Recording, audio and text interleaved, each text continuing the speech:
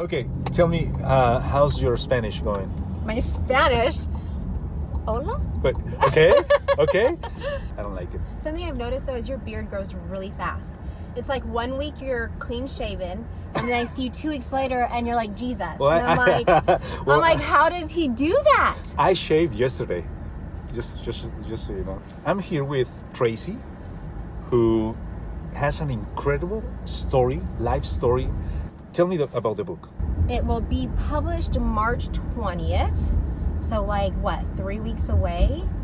It's crazy. So, what it's about is um, embracing struggles to become stronger, to live happier. Every book that is uh, purchased that day, a dollar is donated to St. Jude's. So, that's exciting. And one of my quotes is everybody struggles, some just do it better. Mm. And that's why I call my book Up Struggle. I think for so long, I let my struggles like use me. Like I felt used by them and I let them like, you know, dictate where I was going, how I was feeling. I was like, what if I started using them? There's actually like three universal struggles. One is called self, meaning self inflicted pain caused by our own actions, which nobody wants to admit that, Yeah. but that's true. The second one I call others, meaning pain inflicted on us through the actions of others.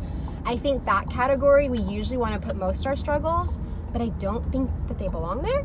And if hmm. we do think they belong there, then the question becomes why are we hanging out with people who cause so much pain, right? Yeah, And that yeah. goes back into now self.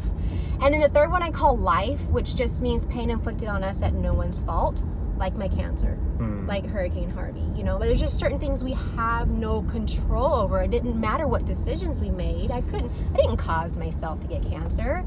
I think a lot of people go to the gym um, thinking that they want a six pack, you know, thinking that they, I'm just here because I want to look good. Nobody goes to the gym to look good. It's just, it's, it's such a surface, um, it's not wrong or bad to have a six pack or to work for it, but it's just not why people work out. If we go deeper, usually, you know, if we dive into people's history and their upbringing, let's say somebody was bullied, right, as a kid. And so now they want all this muscle because they want to feel good about themselves. They don't ever want to feel like they can be picked on. Do you know Yeah. what I mean? Yeah. So I just think it goes deeper than a six pack. And so you know me. That's how I that's how I coach in my classes. I don't talk about let's do this for the six pack. Let's do this for the muscle. Not bad. But I lead with more like the mental and the emotional aspect.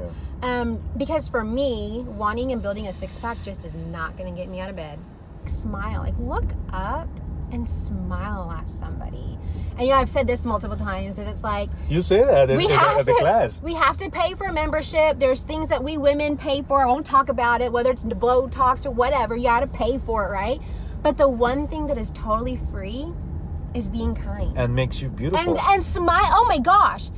Like you could just be an You know- average looking person, but you are so kind. It's like, oh my gosh, they're Yeah. so drop dead gorgeous. Are- you could have a beautiful person who has an ugly personality, and you're like, oh, Yeah. you just became ugly to me.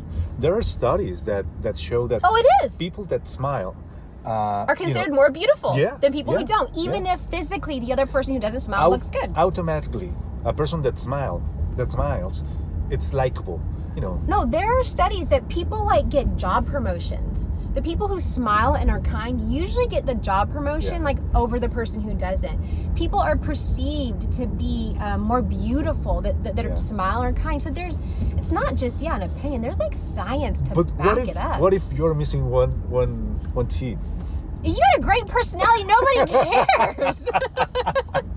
you know, I've had braces twice.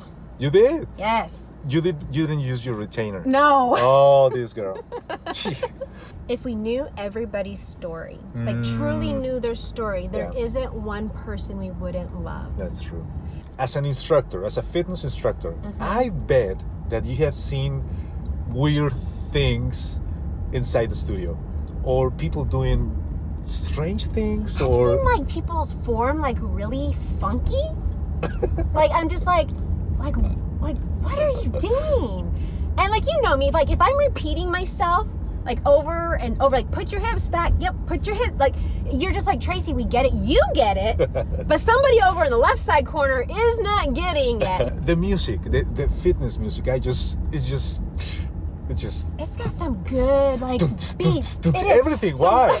Why? Because so if I played classical music though, what would you Yeah, do? Yeah, no, no, no, I You'd get be it, I get it, I so it it. has to have that hard beats to get you motivated and get you going. No, But- but I, I write better. Oh yeah, but I'm I feel like I'm a better writer than I am speaker.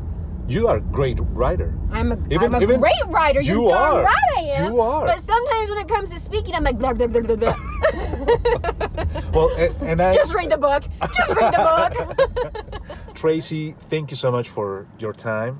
I enjoy. I had a I had a blast, and thank you so much for inspiring so many people with your story and now your book and you know all the things that you do. yeah, well, thank you for having me. It's fun spending time with you, driving around, talking about stuff, getting deep.